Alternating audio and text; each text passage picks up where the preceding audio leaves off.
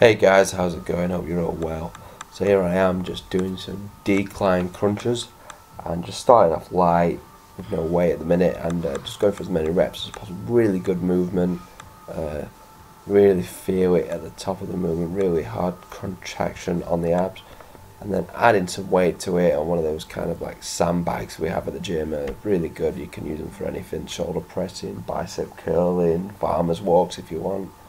Uh, great piece of equipment. But here I am just going for like really slow, controlled reps, and uh, especially lowering down, really feeling on the abs, really getting the burn and contraction hard at the top.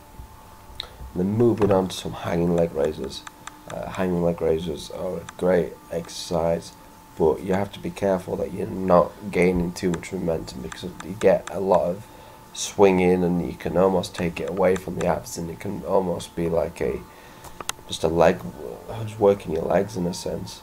So uh, you've got to be careful with this one but it is a great exercise and some people can do varied other movements like windscreen wipers and all kinds of fancy movements and that is something I might challenge myself to try and do and upgrade in a sense and add more movements it's all good and adds uh, challenges your body so as well, moving on to some planks here, uh, planks just holding the movement, uh, just really squeezing the core at the bottom and then moving on to some step-ins, uh, just going for as many reps as possible and step-ins really uh, work work the obliques, really feel the obliques. If you want to target those obliques, add step-ins to your workout.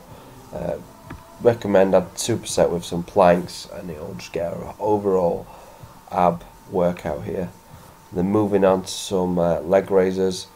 Uh, this is obviously a different, similar movement to the hanging leg raise, but there isn't, it takes away the momentum. So if anything, it's a better movement and uh, can really feel this all over your abs, especially like at the bottom and at the top. So great movement. If you're not, if you're doing abs, add that into your ab workout. And then because I've been doing a lot of push movements lately, I thought I'd do some face pulls because face pulls are a good exercise just to keep your rotator cuffs in check and just pull everything back as you can see. It's almost like doing a double bicep pose when you're pulling it all the way back.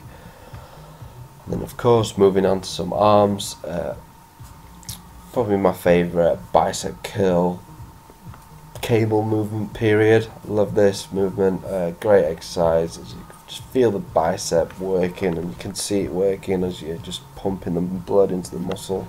Great exercise. And we are now on day 29, so uh, it's getting to the end of uh, 30 days of arms, and uh, really enjoying it. So uh, we'll see. I mean, after like a week. After 30 days and then training the biceps normal, we see should, should see some growth. So uh, hopefully we do and should be good. Um, but I hope you've all enjoyed the video so far guys. And uh, like comment subscribe and I'm out of here. Thanks